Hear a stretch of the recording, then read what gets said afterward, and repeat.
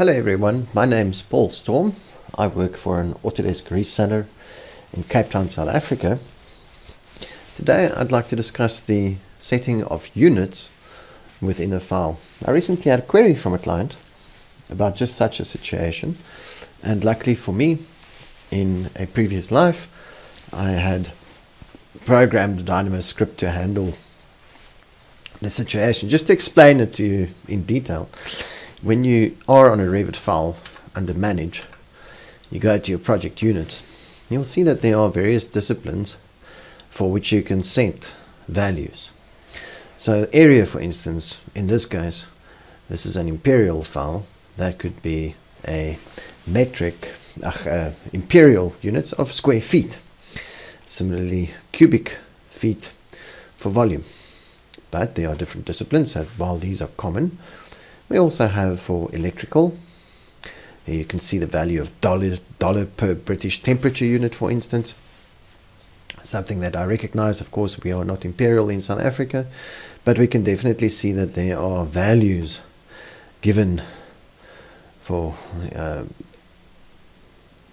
for the different disciplines that make no sense to somebody from a metric en environment.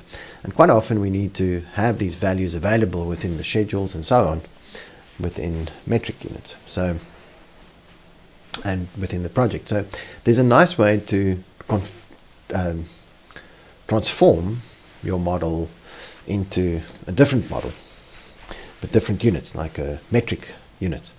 So what I used as a reference was a template. If you say you want to create a new project, then it will ask you which template you use. Now we have two English versions. The one is just English, and the other one is English Imperial.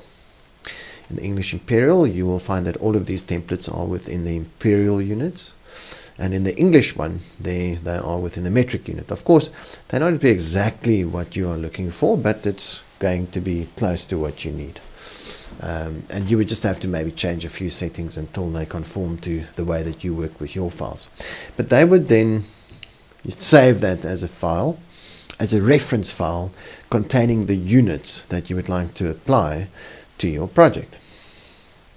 I've done this and then I'm using an old Dynamo script which I'm going to open now and I'll try and explain that. It's not uh, too difficult to understand once you get the syntax right. So programmed this back in 2018. I had to just update the Python node because of the new engine that it runs. But the first item that you see here, it's a very simple little script. There's a there's an input, and as an input, we are putting in a file path. Um,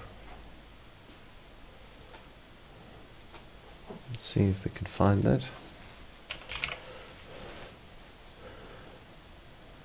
There's the file path and the import export, right? And this allows somebody to click and browse to a file. Uh, here you can see the two, there's the imperial units and there's the uh, the metric units are not available yet, so let's quickly save them in there.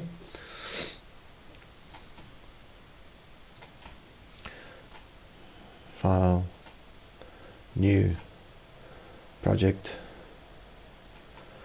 from our metric template.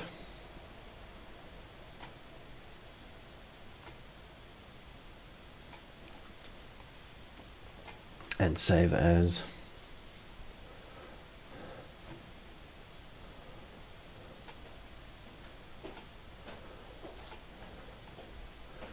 project in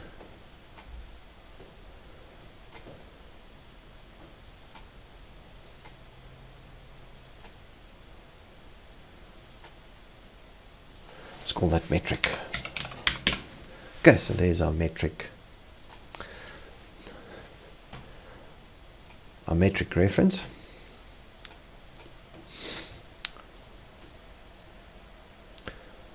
There's our metric reference.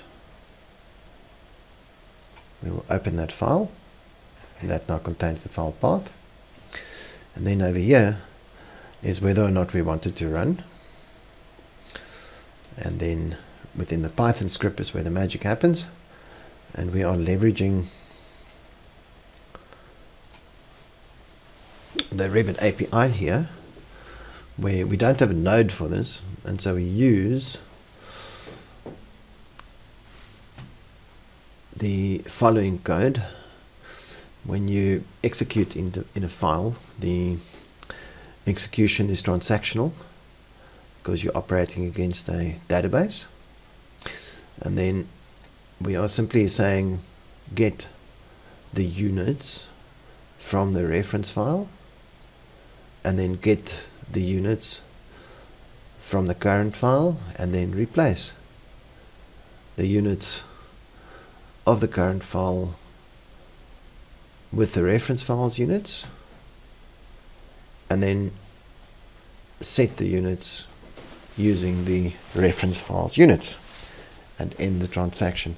Everything that you see in between here is just some extra code that I discovered that helps with setting specific things and it leverages the Revit API and the built-in parameters and the built-in enumeration for the units which is much more complex. It's much easier to set up a reference file and then to just read and write from the reference file as opposed to setting each one of those. But you can go into that.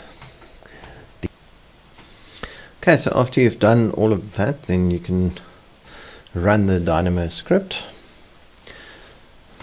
Uh, in our current drawing we've got the imperial units and we would like the metric units applied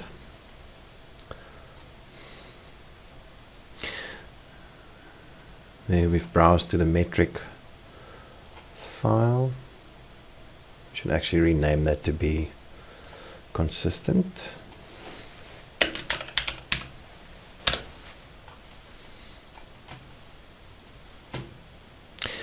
And run.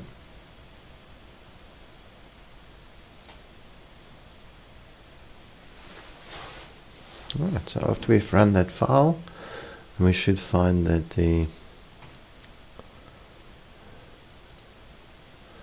units have now been changed into metric units as it was set within the reference file.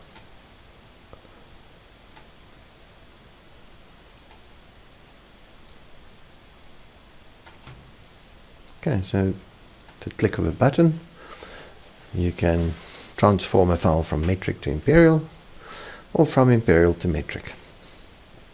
I hope you find that useful. Until next time, enjoy Revit.